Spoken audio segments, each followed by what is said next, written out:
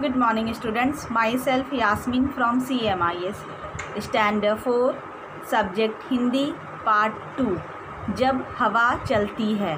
Ma'am ने ये part आप लोगों को पहले ही पढ़ा चुकी थी। आज मैम जब हवा चलती है के प्रश्नोत्तर कराएँगी। प्रश्न वन किसान ने अखबार में इश्तेहार क्यों दिया?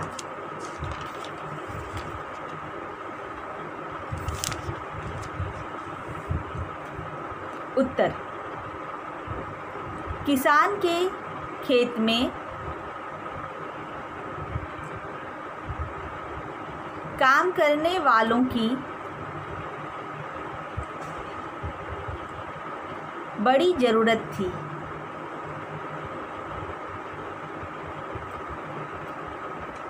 लेकिन ऐसा खतरनाक जगह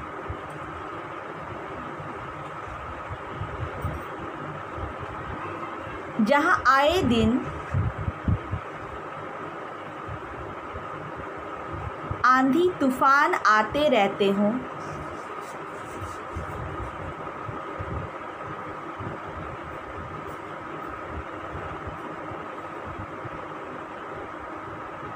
कोई काम करने को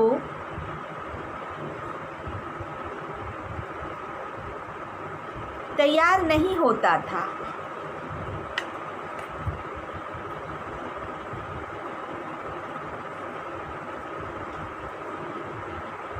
इसलिए किसान ने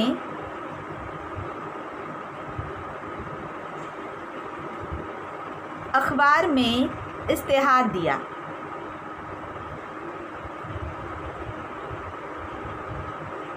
प्रश्न टू। कोई भी मजदूर किसान के खेत पर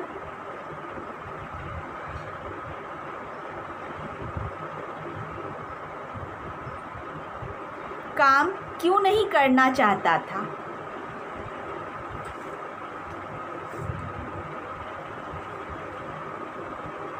उत्तर, कोई भी मजदूर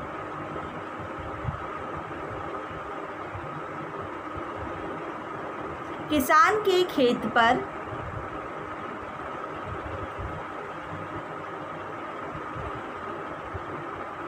काम इसलिए नहीं करना चाहता था क्योंकि वहाँ आए दिन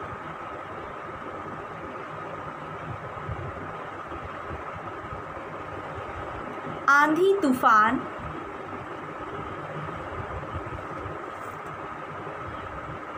आते रहते थे।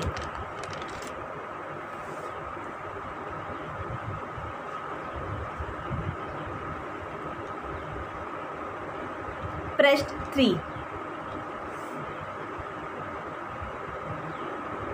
किसान की आँखें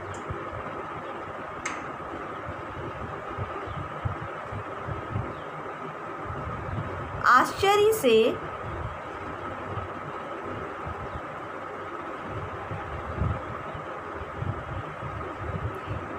खुली क्यों रह गई?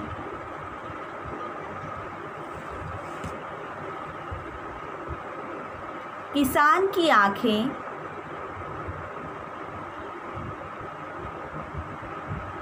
आश्चर्य से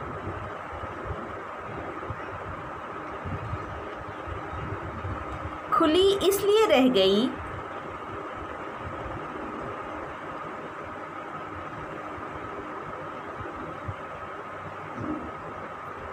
क्योंकि फ़सल की गांठें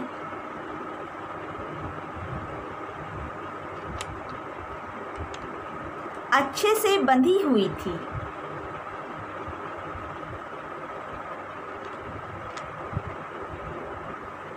और तिरपाल से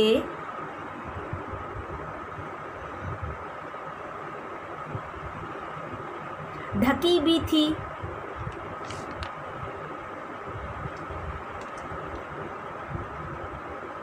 उसकी गाय बैल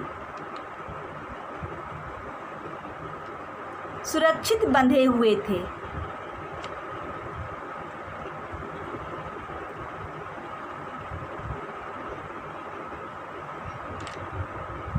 और मुर्गियाँ भी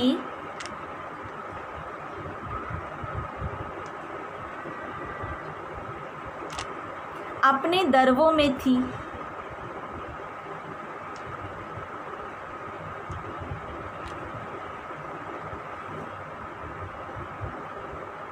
बाड़े का दरवाज़ा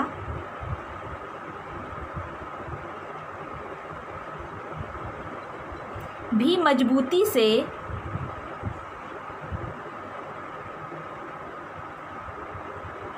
बंधा हुआ था।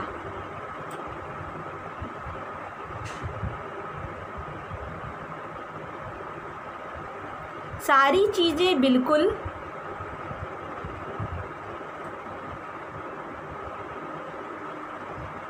व्यवस्थित थी।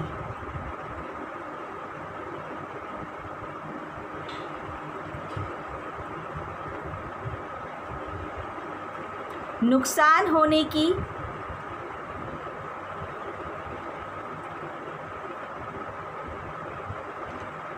कोई संभावना नहीं बची थी।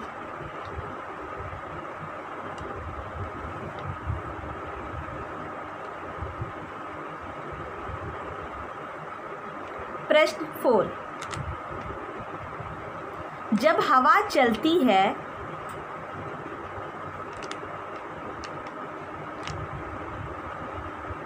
तो मैं सोता हूँ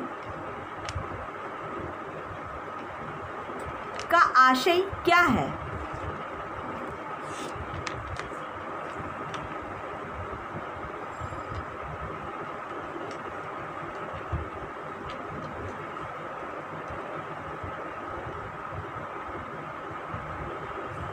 जब हवा चलती है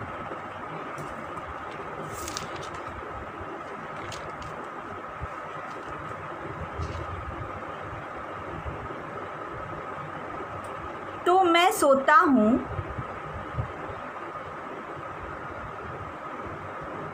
का आशय है।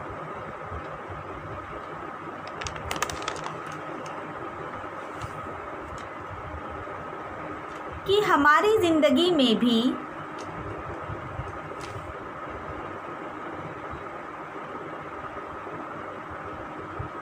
कुछ ऐसे तूफ़ान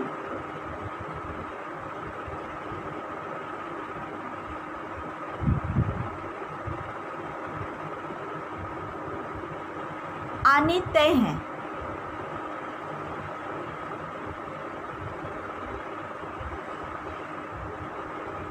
परंतु ज़रूरत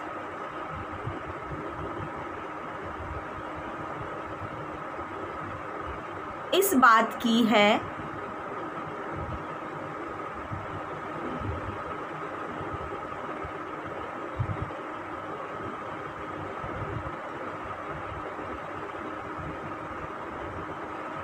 हम पहले से तैयारी करके रखें ताकि मुसीबत आने पर भी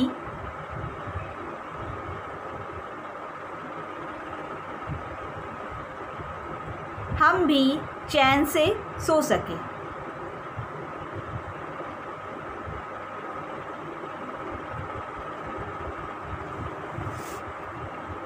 प्रश्न फाइव इस कहानी से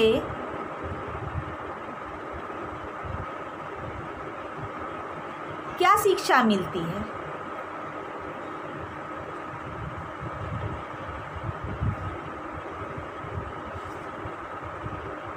उत्तर.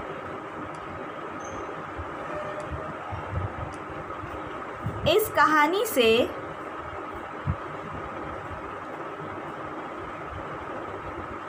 हमें यह शिक्षा मिलती है कि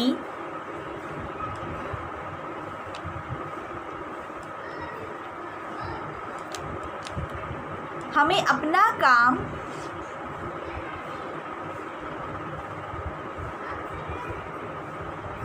समय पर करना चाहिए।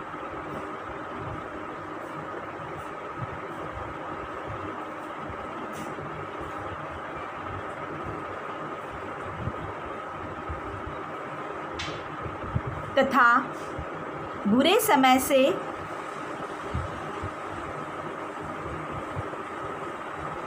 निपटने के लिए पहले से तैयार रहना चाहिए।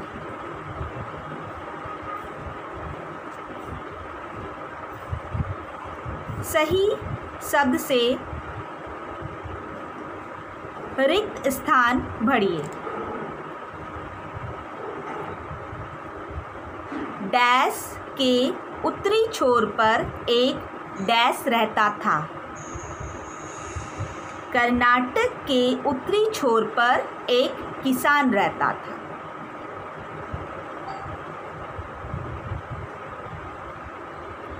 जब हवा चलती है तब मैं क्या होगा? सोता हूँ।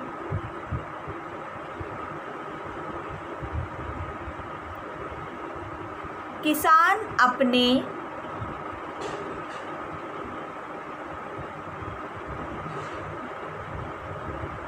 अनुभव से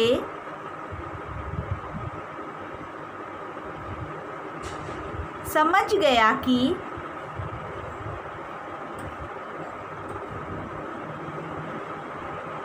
तूफ़ान। आने वाला है।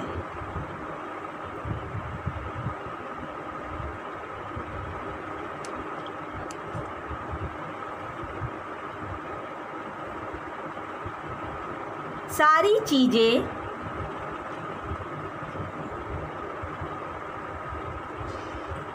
बिल्कुल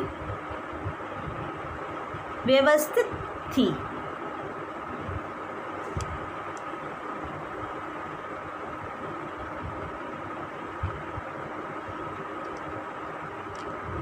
सही उत्तर पर सही का निशान लगाइए। एक किसान एक सामान्य कद का पतला दुबला व्यक्ति किसान के पास पहुँचा। अधेर, जवान, वृद्ध। मजदूर सुबह से डैश तक खेतों में मेहनत करता। दोपहर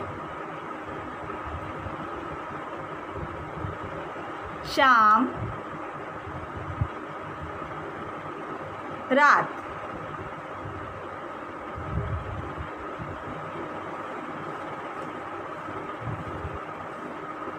किसान के हाथ में डैश ली और मजदूर के झोपड़े की तरफ़ दौड़ा लकड़ी रस्सी लालटेन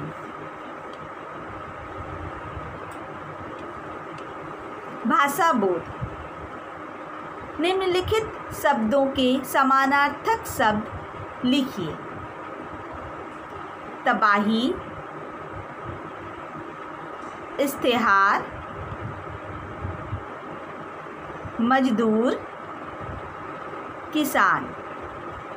गुस्सा। मज़बूत। मुसीबत। निश्चिंत।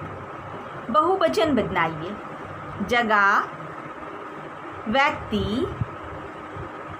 खेत। मजदूर। परिस्थिति। तूफ़ान। तो स्टूडेंट्स आज का होमवर्क क्या है? प्रश्नोत्तर को अपनी उत्तर पुस्तिका में लिखें और याद करें।